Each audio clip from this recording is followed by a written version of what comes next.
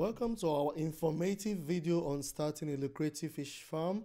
In this video, I will be interviewing an expert who will reveal the secret to success in fish farming business, including how you can maximize profit with Fingerling prices. Yes, it's Felix Oguche Agrotronic Systems. This channel is dedicated to helping you to start, grow, and make money from agriculture business also to give you information on new and advanced precision agricultural technologies and tools and how they can be used to increase efficiency and profitability. And also, I will explore other innovative technologies in agriculture, such as drone, robotic, and sensors, and how they can be used to improve crop yields, reduce waste, and optimize resources use. If you ever look for video on how to start a lucrative fish farm and maximize profit with fingerling prices, we are aware there are a lot of options for you. But in this video, I'm going to bring to you an expert by name Mr. Raymond Ederigbe, a business owner, agricultural business owner uh, by the name Zumarine Integrated Farms, and consultant We will share with us while revealing the secret to success in fish farming business. There is also bonus. Make sure you stick around to the end because I will be sharing with you eight top list of equipment needed where you can buy them and total quantity of feeds required to raise your fish from hatching to adults of weighing about 1 kg and above. So sit back, relax, and let's dive into the world of fish farming today. Thank you.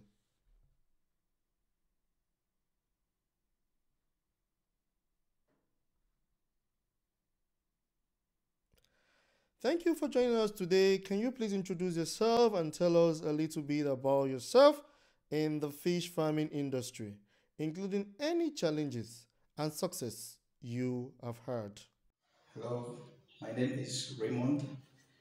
I am the CEO of Zumaro Integrated Services. I'm also an agribusiness consultant. Um, having taught so many persons about how to be successful agribusiness owners, I felt I should also come into the game myself. So I got involved in um, aquaculture. Um, aquaculture is um, about um, rearing fish for consumption. And uh, some of the challenges I observe um, experienced during my my um, farming period was that um, the feed, the cost of feed was not regular. It's always increasing. And every week you get new price of the fish. And then also the issue of theft was there. Uh, people could come in around and then steal the fish when you're not around, or even steal the feed, fish feed when you're not around and also um, water quality. There was no way for us to control the water quality. We only have to just change water regularly, and uh, these were the challenges I've had. But so far, so good. The business is booming, and uh, when you come into it, you're sure of making at least your capital will be gotten, and then um, with certain percentage of um, the profit will be given to you back. And um, the cost of uh, getting fingerling is about 40, 50 naira for one finger. And um, the major fish we rear in Nigeria, mainly Nigeria, especially in Niger State, is catfish. And catfish is easy to rear and um, you have less health issues. And even most of the time when you have health issues, industrial salt, sodium chloride. Sir, what are the essentials materials and equipment needed to set up a fish farm? and where can one acquire them? Aquaculture production involve um, you having a pond, either you have a earthen pond or a concrete pond, and then you have a poly polythene bag uh, pond or poly bag pond. Um, we you, you also need a pumping machine for you to pump water and a, a source source of water. Most of the time, we depend on river. But if you have um, a well or a borehole, to be okay for you, then you need to get um, regular source of fish feed. The quality of the fish feed depends on where you are getting it from. Um, other materials you could need um, nets, um, maybe buckets that you use uh, once in a while, materials you, or a table that you use for sorting. Then you also need um, smaller fish tanks that you could also use um, in, in sorting your fish. And most of these materials can be gotten from the, the local market here. And then, for example, the fish feed, we usually get it from the western part of the country, say maybe Kwara or Ibadan. It's usually come from Kwara State, um, Ilorin. That's where we get the, and the fingerlings are usually gotten from Kwara. And um, in terms of um, water quality, we really don't have any way of maintaining water quality. All we do is to change the water. Sometimes we'll just allow the river to flow through it using pumping machine and pump on a daily basis, sometimes 24 hours. And that's one of the major challenges that we face here, that you have to spend a lot of money on, on diesel or perhaps electricity. That's when it's available. Feeding of the fish is done usually uh, in the morning and, and the evening. But at the initial stage, you feed them up to like four to five times in a day. While the fingerling stage, so that they can have enough to go around them. But when they are getting older, say from six weeks and above, you have to feed in the morning and in the evening. And you feed them until they stop picking the feet. But it's not like you just pour the whole bag on it, but you put them in bits and you select a particular spot on the pond where you have to put the fish so that you can get them. What are the key factors that determine the profitability of farm and how can one maximize profit while minimizing costs? The major factors that determine the profitability in fish production is um, fish feed. Feeding is very expensive and um, it all determines the price. Other factors that you can consider would be cost of labor and then cost of electricity, especially if you have to pump water every day where um, electricity is not readily available. And um, also, selling of our fish products is done locally, the local farmers. In Niger State, for example, we have uh, people who come to buy and sell in the market, while some will also come by and take them out of the state.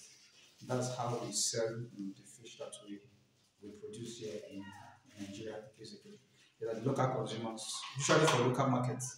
It's on very rare occasion people who smoke and and then export them. But basically, it's just for local consumption. Earlier in the video, I said I will be sharing with you a top list of equipment needed to start, especially for theft avoidance, tips on where to buy them, and total quantity of feeds required to raise your fish from hatching to adult fish of weight about 1 kg and above. Number one, water pump. We all know the importance of water pump. Uh, it's very useful in getting water in and out of the pond. Then the string rail, the fish farming feeding machine, sorry, the fish feeding machine, bucket and toms, aerators or air pumps, weighing scale, thermometers, solar panel, CCTV camera, handling of grading equipment and grading equipment, strings, pens, and measuring tape. Those are the list of equipment or tools you will need. And then now to the bigger question total quantity of feed required to raise your fish from hatching to adult fish. Number one, the cost of fish feed in Nigeria varies depending on its protein content and size. Fish feed with protein content of 35% or 45% and sizes ranging from 0.5 millimeter to 6 millimeters are available. The appropriate size of feed for fish is determined by their age and sizes.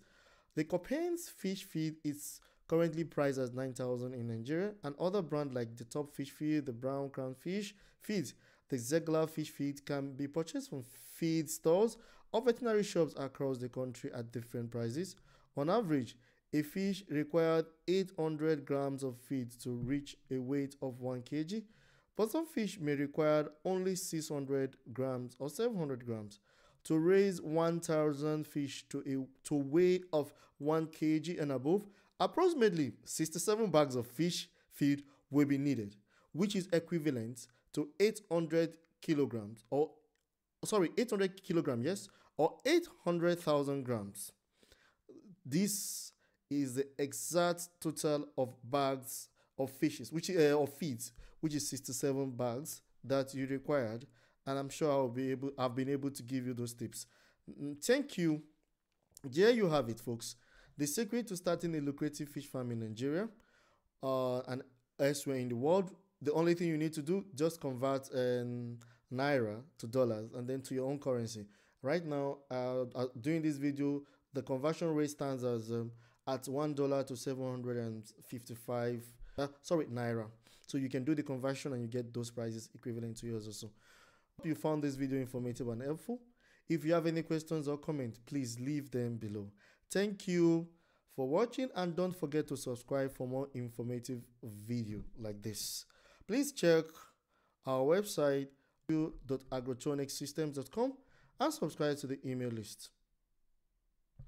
There are a lot of uh, pdf articles there. You can also go through them. That, those will be helpful. Thank you so much for being here with us up to this time.